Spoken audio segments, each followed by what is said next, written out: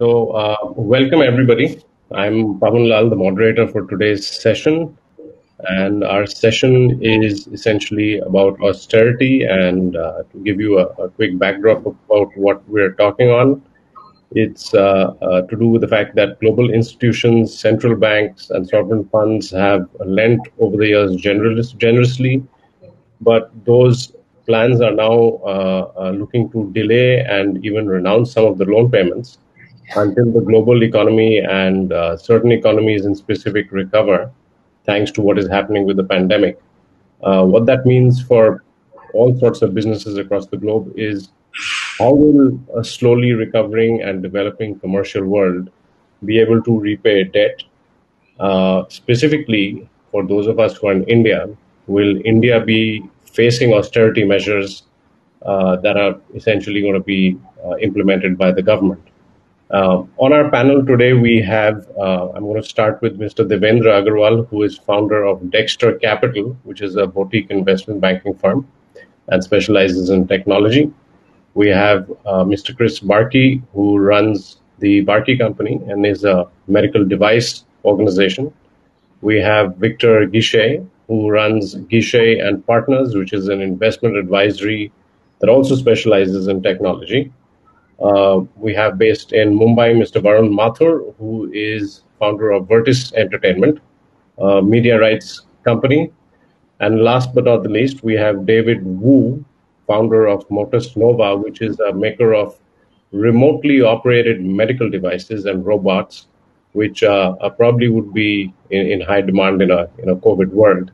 And so, without further ado, what I'm going to do is uh, toss it over to David Wu to tell us a little bit about how he sees his industry uh, and products and services being impacted in a world where uh, austerity led measures might come into force in the next couple of quarters.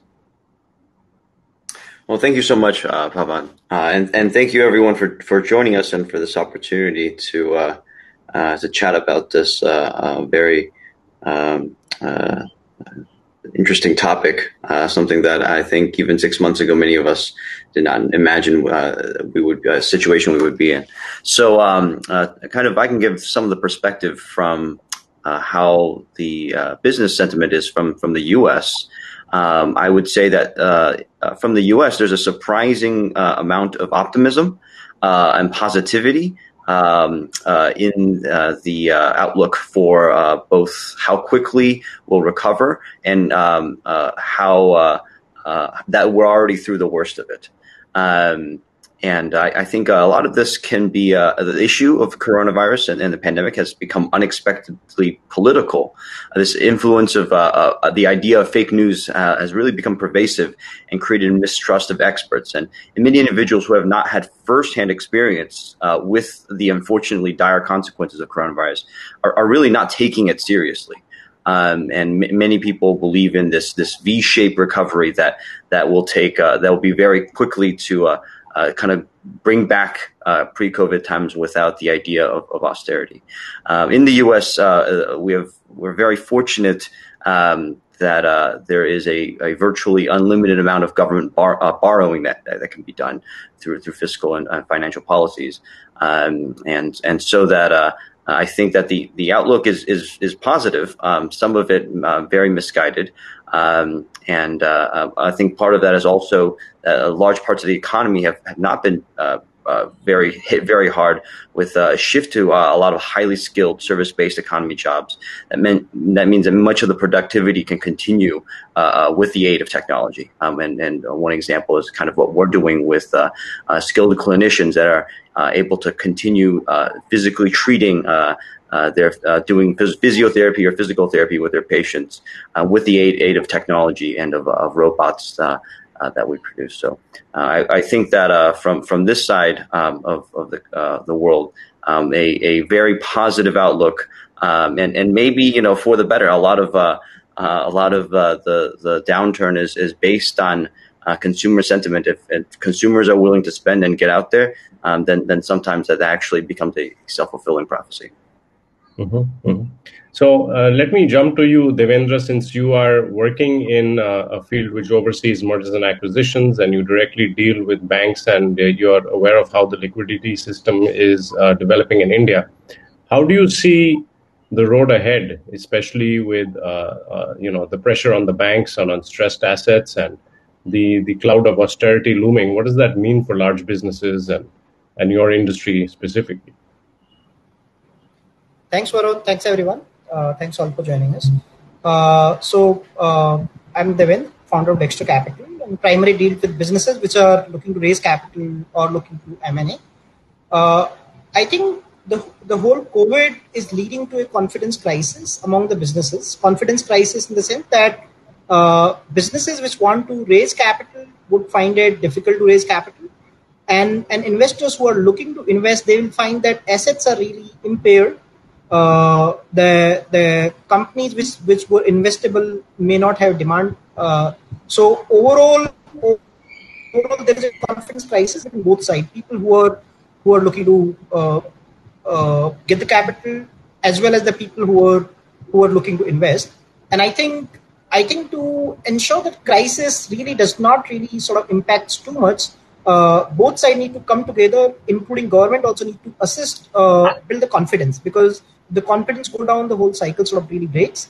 And I think governments are already doing it. Uh, Indian government that way has much limited capacity compared to a government like US, which can which can print the money, which can uh, which can sort of let's say uh, do huge infusion of liquidity. Uh, but but there are multiple things governments can do by ensuring that banks can lend at cheaper rate uh, or or making the process easier some of the steps are being done. I would say some of the steps are still being still being done. Government can still take more measures on taxation side more policy uh, friendly side. But again government has their own constraint. So i think that part of uh, that part is sort of being done.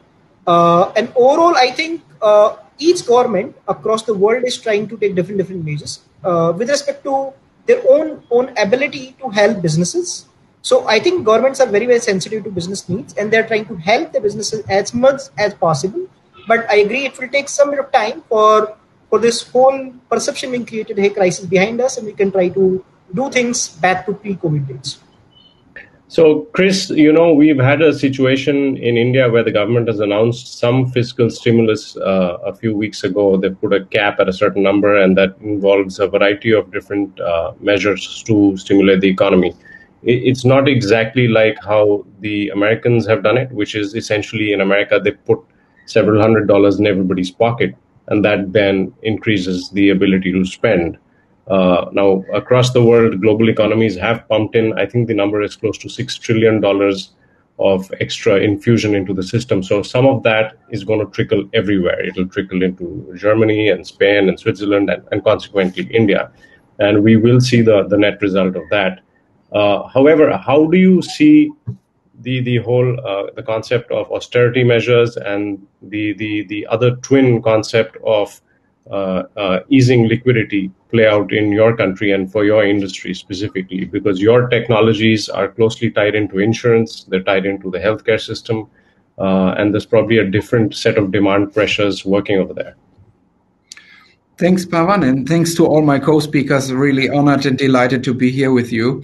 Um, yeah, I'm in Germany, as you said, Pavan, and I'm the CEO and shareholder of a German company, mid-sized, uh, in dedicated only to um, cell thawing, and we are uh, well embedded in cancer treatment um, therapies as well. So for us, first of all, we have to say, as we have also a business in India, is uh, export business went down 20 to 30 percent in uh, selective countries instantly, and um, that was um, kind of a pain point for us as well. Um, the money you're talking about, Pavan, especially in the United States, this was a remarkable. David might say more about this later on. Uh, the so to say CARES Act was. Um, multi-billion of dollars pumped into the system and um, money was mainly used for covid luckily, we as Barkey could participate uh, on some of our segments uh, due to spending money on, on COVID uh, measures, but by far uh, it cannot um, resume the, the, the, revenue we, we had before. And um, we feel that um, some countries um, put significantly money into the economy, as well as for Germany, for instance, we felt only delaying tax payments measures and so on. So it is not the same um, strategy all over the globe, we can say, and uh, we feel that we we I think we can't help economy just by delaying payments. Uh, we need more measures, like Brenda said already, that uh, they are going deeper and more um, into uh, structures like uh, helping individual industries. I mean, MedTech is huge, but MedTech does not participate uh, all over in the same way. And there are other industries out there which do not participate at all. So my, my advice is we need a really, really uh, deep, deep strategy about who and how and with kind of money we help here. Thank you.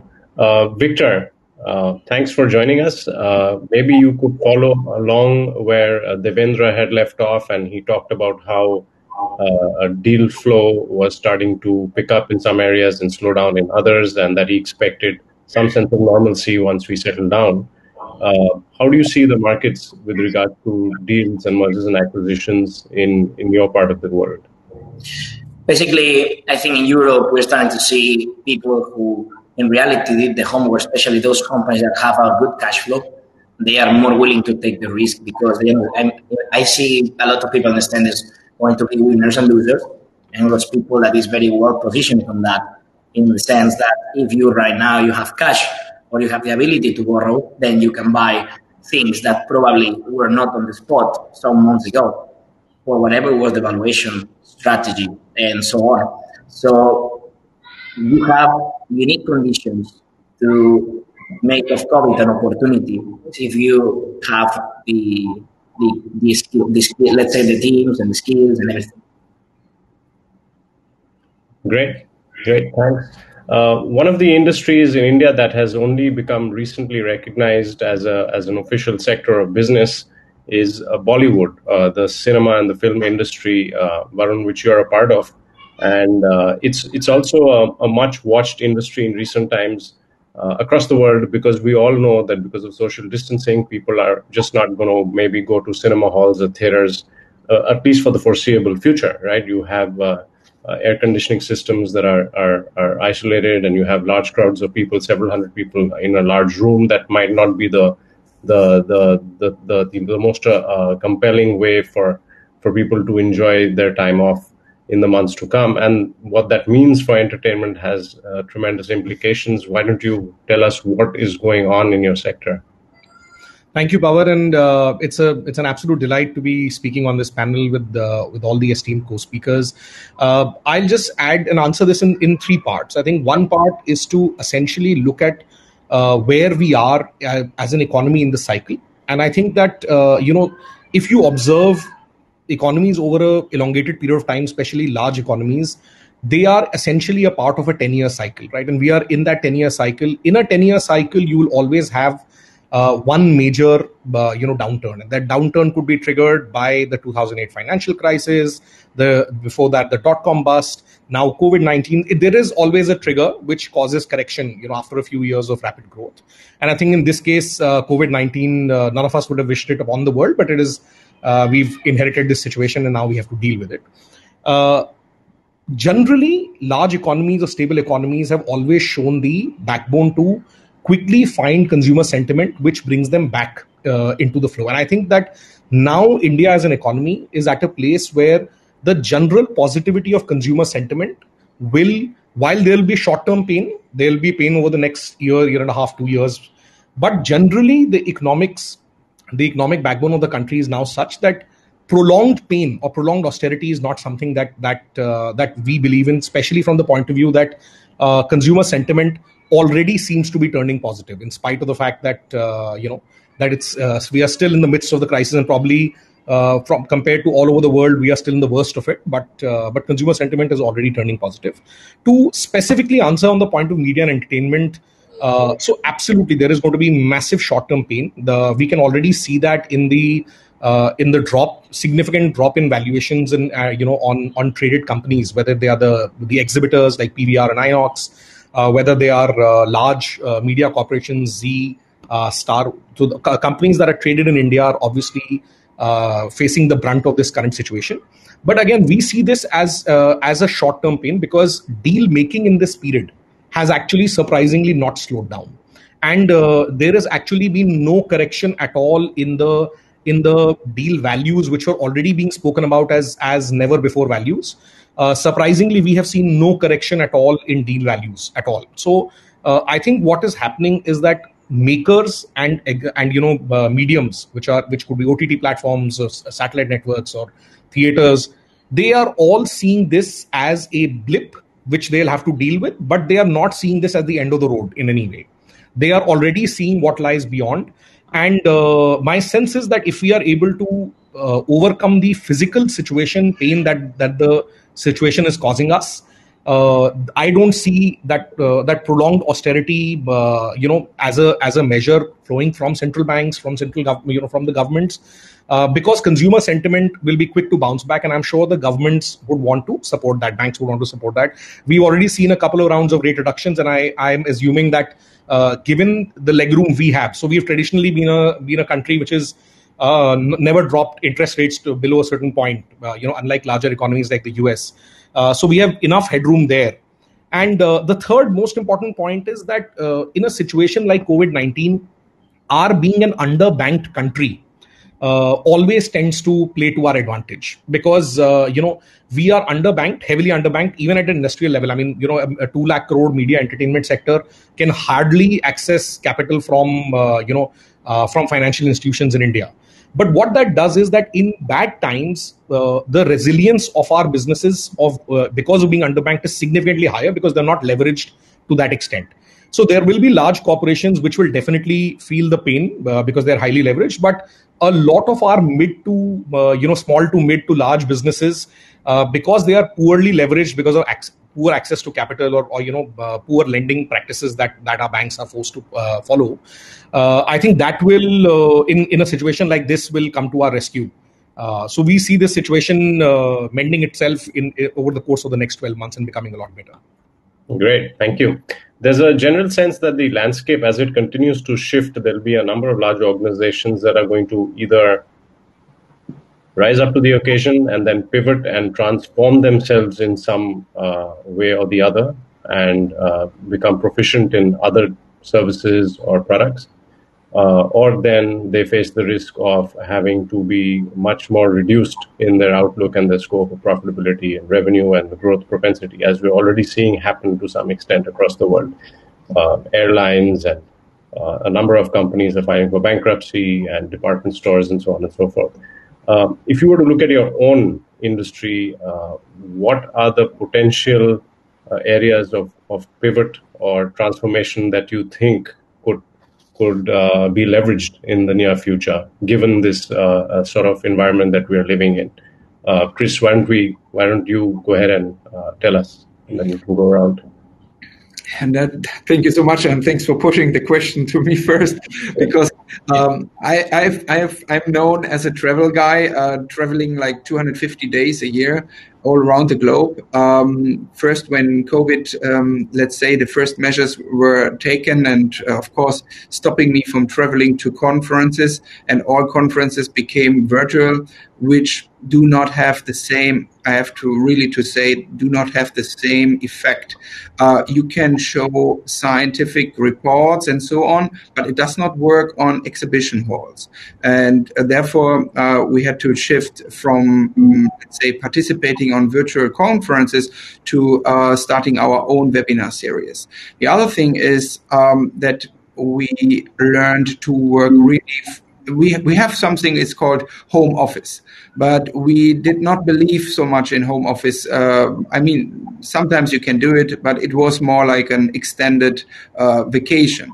But now home office is really established and something we definitely will keep on doing and gives us much more flexibility and freedom. And of course um, we felt recent for companies who have an established network uh, they can nicely continue working. But for those who are startups and do not have network, they actually rely usually on, um, let's say, face-to-face meetings. As you know, uh, all of us we don't know each other, but it would be a huge difference if we really have a face-to-face, uh, at least uh, meeting or lunch or dinner together. That would buy in much more trust and and um, confidence in each other. So this is something we can take back where we really struggle right now, and this is also for India, we have equipment which needs uh, installation qualification and operation qualification, usually on site, and we have to talk um, technical stuff through this uh, very complex uh, procedure and takes us four to five hours each. So clearly, an opportunity for training and services, uh, according to Chris, across the world. Uh, David, do you want to do you want to answer that question from your point of view? Yes, uh, th- thank you for um, for that, uh, Chris. And uh, I, I, would echo a lot of those sentiments here uh, in the U.S. as well. Um, I think that uh, um, for kind of the one of the bigger consequences of, of the uh, the pandemic um, is that these very large firms. these, in, in the, for example, in our industry, hospitals um, that essentially are able to dictate the rules of healthcare um, uh, are uh, being completely upended uh, by uh, by this pandemic. Um, mm-hmm. There's something about uh, uh, in the U.S. It's kind of a, a, a, the inverse of what, what you think would happen, but there's been about one and a half million layoffs and furloughs in the healthcare industries. We're talking about nurses, doctors, healthcare workers that uh, you would expect and in a pandemic would be needed. Uh, but because of so much of healthcare um, are elective procedures, um, are, are uh, uh, uh kind of these uh, surgeries um, that people come in for for back pain or or, or kind of even cosmetics and things like that. Um, in our in our case, physical therapy um, medical care that can be delayed um, by many are being delayed. Um, and that's having a uh, incredible uh, uh, uh, impact on the revenues for healthcare systems. Um, and so hospitals before uh, that would never have considered technology, the aid of technology, uh, uh, to to use um, in order to uh, treat their patients are, are now going to that. Um, and that's what we're seeing. We, we've, we've had our technology in about 170 clinics and hospitals uh, across the U.S. over the past decade. Um, and all of uh, they're, they're de- kind of deployed into the hospital setting and used kind of face to face. And we've been trying to shift uh, hospitals and, and, and clinicians to use our technology uh, uh, in a in a uh, remote telehealth kind of sense uh, to to deploy it directly in the home so that they, they so that patients don't have to come in uh, to get the same care that they could get in the clinic. but because hospitals uh, and clinicians are, are so uh, uh, used to, to, to uh, treating face to face, they uh, they acknowledge the advantages of offering a telehealth for their patients, but they continue to kind of operate um, as as they have been for for so long. And this this pandemic has really upended that and and forced a lot of industries um, to uh, review kind of uh, the practices that they've been uh, uh doing and, and hopefully uh, pick more innovative solutions, uh, technology inspired solutions that allow them to do everything that they have been in a more efficient way. Thank you. Victor, yes, please go ahead. So I understood the vendor. Now I have a point. In reality, what David is saying is that what happened with the pandemic is that we accelerated trends that were there when people were not embracing. But now, with the pandemics, most of the of the population has been uh, forced or invited to join uh, things that they were probably trying to not to take, which was remote working, which was uh, trusting again on science, getting back to to to travel less, etc. Certain things that we all did that without this pandemic were not set to happen. And now this acceleration that we had in a in a in a in a pill of three months, I think is going to change everything forever. In a point that we probably saved humanity two or three years, and we put it everything together in three months. Okay, everyone leverage on that on that level of uh, of skills in terms of uh, uh, digital this, this this and that's a new departing point from here every everyone now is more willing to be to take uh, innovation departments of innovation that were just for the sake of uh, marketing and keeping the budget and so on it, that way get involved in things that they were not set to do before because now the body's here so basically, everyone is going to. It, there's no there's no way back. We probably. I know people that will say, "I will never use Slack or whatever." They were just looking for five or ten years, try to escape that and just retire. But now everyone is in, so that changed the, the game forever. Yeah, it's uh, flat. It's leveled. The playing field has been leveled, and the advantages and disadvantages ironed out. Devendra, what do you see happening in your industry in terms of uh, needing to adapt and reinvent yourself and uh, change the way you tackle deals and, and give advisory to your investment companies? How, how are you seeing that change? Yeah, so I think there are two, three kind of impact on that that's going that's already happening. So one is what I think each of my co-panelists talk about uh, that in any industry uh, there'll be a very clear differentiator between weaker player versus stronger player because in this in this current time players which are weaker which are not able to innovate which are not able to become efficient uh, they would they would face much significant challenge compared to the player which are stronger and we would see stronger players probably emerge more stronger maybe we'll we'll see more consolidation in the in the industries second is uh, there'll be in some sectors there'll be more permanent impact like say travel let's say restaurant uh, etc. So we would have those kind of impact, which will be much more permanent in terms of even long-term sort of horizon. But I think the most interesting thing which I'm able to observe is lot of lot of lot of impacts were at least few years away. I'll talk about education. So in education, in schools were not getting not adapting to technology, and suddenly given schools are completely closed, I see technology company were changing schools. Hey, become our clients, and schools will say, hey, we don't need you.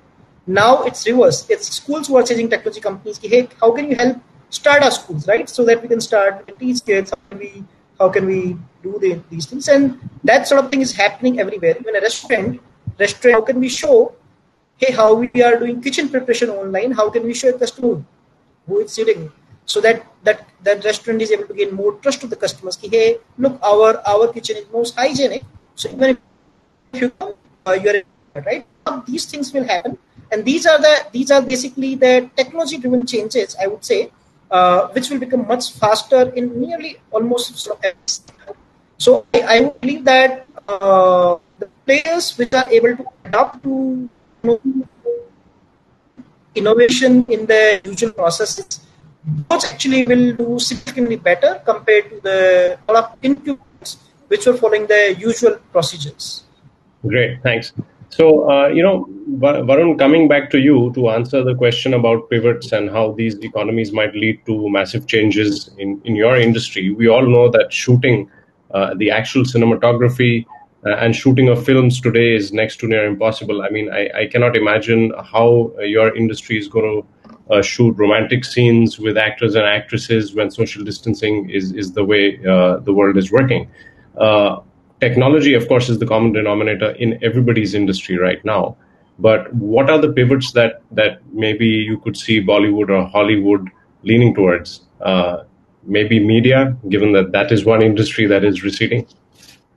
So. Uh, our industry is actually a very unique case study in in what uh, has happened on the two sides of the of the industry the demand side the consumer side as we call it and the and the supply side uh, on the consumer side, uh, we are in the post cheap data world. Uh, where uh, consumption is, in fact, COVID nineteen is, if anything, has been a massive booster of consumption. Uh, you know, TV ratings are are through the roof. Uh, there are, you know, and in spite of that, unfortunately, it's a bad time to be a broadcaster because even then you're not making money. But but from a demand consumer standpoint, the technology breakthroughs have largely uh, happened in the last five years, and they've enabled consumers to actually consume without the consumption being disrupted by uh, by COVID nineteen. Uh, but you're absolutely right. The supply side has been hit very, very massively, uh, both financially and in terms of uh, how we are dealing with the supply side. And some technology pivots have taken place there also. So, uh, and, and I'd say that those technology pivot, pivots are coupled with an acceptance of a new level of content. uh, suddenly it is okay to to have movie stars uh, conduct a show from the comfort of their homes. Uh, it's okay for people to submit uh, their homemade videos and, and for it to be mainstream uh, entertainment, which in the pre-COVID world would not have been acceptable. Uh, having said that, uh, there are also other innovations that are happening. For instance, what a lot of the production, higher end production, is doing is that it's uh, immediately, rapidly moving out of the country, right? Because there are countries that are faring much better than us as far as physical management of the of the situation is concerned. Uh, you know, so uh, shoots have resumed almost all across Europe. Uh, UK is back to uh, to shooting. Germany is back to shooting. So a lot of our high end production is now being reworked to start shooting in those countries, uh, while the consumption here, uh, you know, to keep feeding the consumption that's going on. Mm-hmm. so, so there is that degree of innovation, and also I think that that technology on the supply side, coupled with an acceptance that content doesn't need to always be beautifully finished and at great quality. Okay. But I think uh, and on the demand side, uh, it's a boom. Okay, and uh, thank you for that. Let me throw this question out to everybody, and we can just take turns to answer this. How do you look at the possible the possible looming confidence crisis, which is essentially about the scarcity of money? You know, uh, and uh, please feel free to uh, answer as you see appropriate.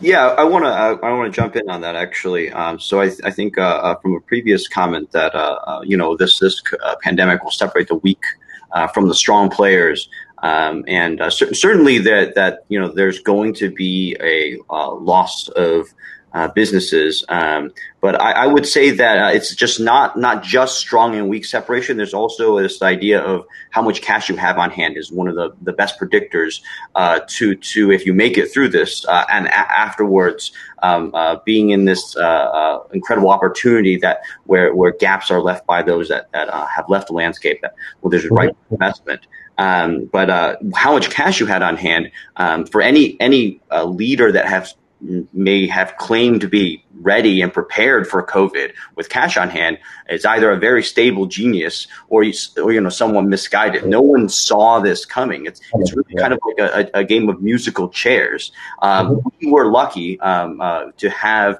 uh, just you know raised some money before um, uh, all of uh, you know in the middle of last year. So so we're you know in a fairly comfortable uh, place. But a lot of startups um, they need capital infusions every year.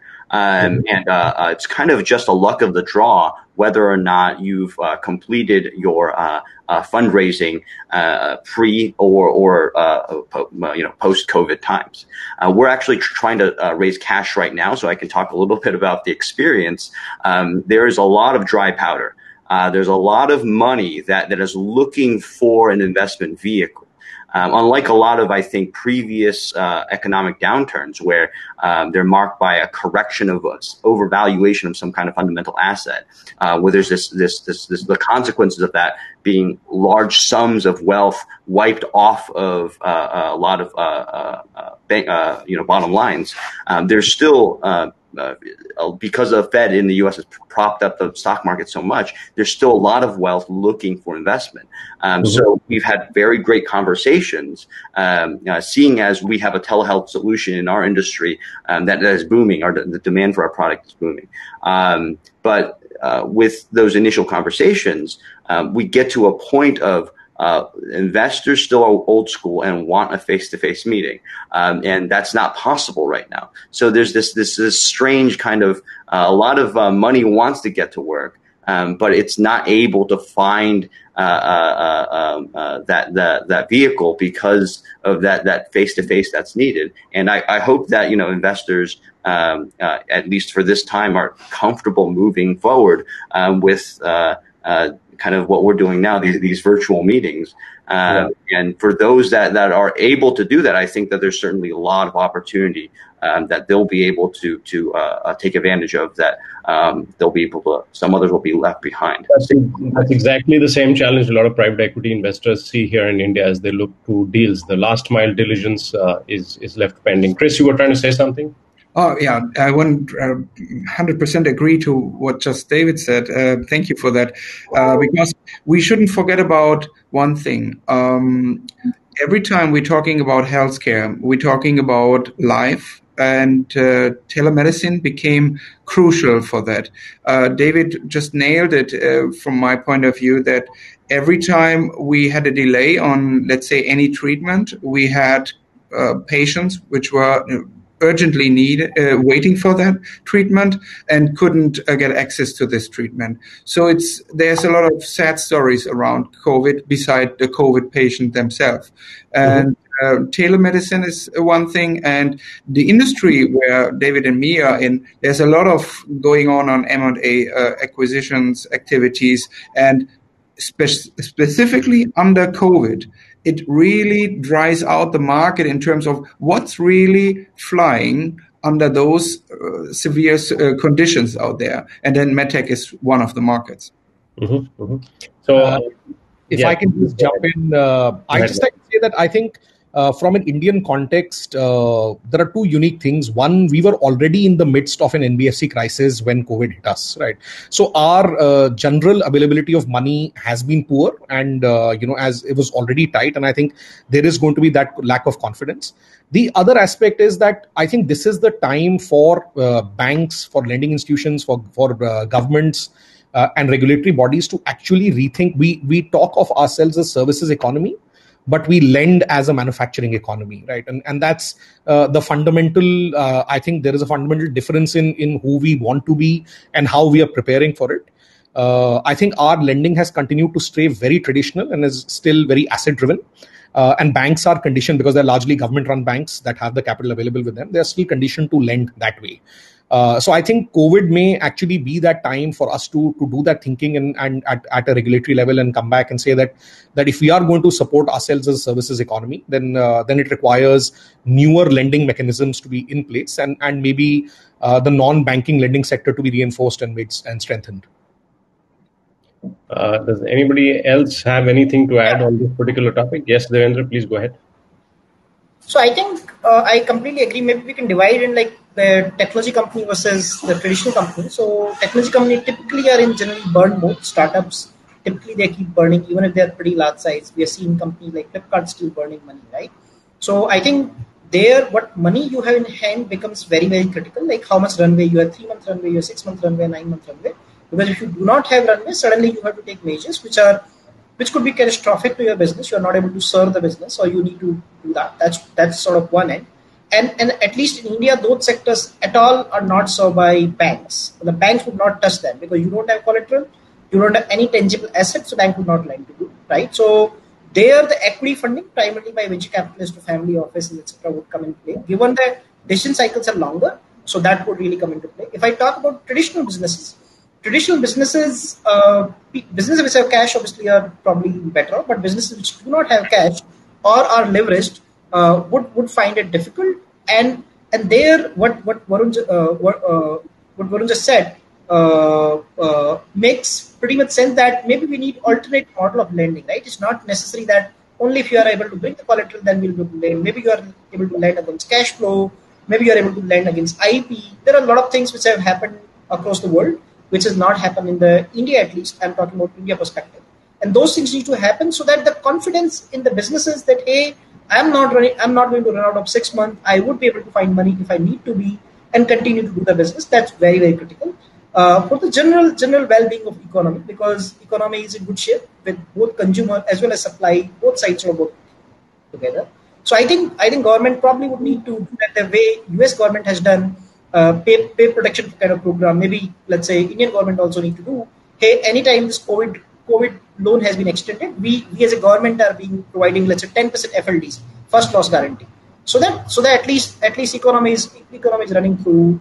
Uh, mm-hmm. there is there is a sense like hey we are helping general people. So maybe some some of those things need to be uh, thought through, especially given government has pretty decent forex reserve. Government still has more than 500 billion of forex reserve, so they can do some, some of those things to utilize uh, and re, re uh, increasing the economy. Great. I think we're uh, almost out of time, but maybe we have time for one quick uh, wish list question, if I may. And, uh, you know, somebody can just come up with a brief answer as I go around. Uh, what's the one topmost economic wish list you would have of policymakers for your industry in light of the austerity winds that are blowing our way? So, why don't we start with David? Um, all right. Well, I get I get the first crack at this, I guess. Um, so the top policy wish list from um, uh, that that uh, in our industry, I think that uh, uh there's already a large been a large capital infusion. Um, my worry is that uh, uh, that this money is going to just go to people to sit around um, and you know, people, it's it's going to businesses. Uh, there's employees are being paid, which is which is good, uh, but they're not being productive, and that's not sustainable in the long term. Um, I wish that um, uh, there was a more targeted approach um, with with uh, the, the, the funds that are coming in uh, to support kind of businesses um, and and technologies that are able to really help in this pandemic move forward um, a lot of the old uh, uh, recalcitrant uh, uh, policies and and uh, uh, kind of ways of doing things that, that have um, been existing in, in our industry for, for many years. So a more targeted approach with with the, the hammer of, of okay, all right, funding. Yeah. Yeah. Is there anybody else who'd like to add to that? We've got time for yeah, maybe. My wish list will be that hopefully we can close the gap between the real economy and the productive mm-hmm. economy in the markets somehow. Because in reality i'm in the opinion that we we are constructing we are constructing a, a, a bubble in the long term. And basically it's going to have a bad ending. Otherwise i don't understand certain things that we're seeing that deep remembers me to the dot-com bubble of the 2000s and we we've been surprised by the pandemic but for me, the real risk is still hidden. Right. And my, my real risk is in the bubble because in the bubble, people really, really suffer. So my wish list is that that printing ends well and we can keep this future debt uh, situation, future debt uh, crisis away. Yeah. And it goes quite well. Maybe that we just experimenting big or with all these central banks playing around. Mm-hmm. So yeah. it does well. Yeah, yeah, that's a good point. So I think we've got a couple of minutes left, and uh, I think it's time to call it a wrap. So let me say a quick thank you to everybody for making this uh, so easy on me, and thank you to everybody in our audience who's watching. I'm going to see if anybody wants to send us a quick question. Uh, a couple of comments coming in saying that bank to need, banks need to lend against rights as collateral but uh, I don't see any other questions coming in just yet. But while we're waiting, Pavan, if I can, Pavan, if I can just use the moment to to mm-hmm. add that comment. Uh, I think uh, if we revive DFIs, uh, you know, which are uh, which are focused, developmental financial institutions that are focused, sector focused, uh, it would make uh, for a much more resilient Indian economy, and companies generally would find it a lot easier. we actually find it easier to borrow against rights from uh, organizations in the US, uh, whether it's JP Morgan Chase, whether it's Aperture Media, all of those guys, then to borrow it in India. So, right, absolutely right. Yeah, I mean, uh, this is clearly a time for most policymakers and governments to reset the scale in terms of how they structure their industries and their uh, regulations and use the crisis to create opportunities, as uh, you know, many famous authors have talked about and philosophers have talked about using. I mean, the execution is what makes the difference, of course. But uh, as we wind down, I, I think the bottom line is that if there's a positive at all in a crisis like this, it is that it, it shows everybody in the world and countries across geographies that we are all suffering in the same way and that the opportunities and risks and threats that we face are pretty much the same. Nobody really has it better or worse it's a, it's a it's a, it's a strange and sadly leveling playing field. And uh, hopefully that's a lesson that we'll take away as we move forward and move out of this pandemic which we will in due course of time. And uh, you know i for one am an optimist and think that you know when you look back you'll see this as a as a period of terrific growth and learning. But uh, one hopes that broadly across governments and economies and corporations the the takeaway is that essentially we're all in this together uh, once again, thank you, everybody, and good Thanks. luck and uh, stay safe. Thanks. Thanks, Thanks everyone. Thanks, Thanks, everyone. All safe. Thanks.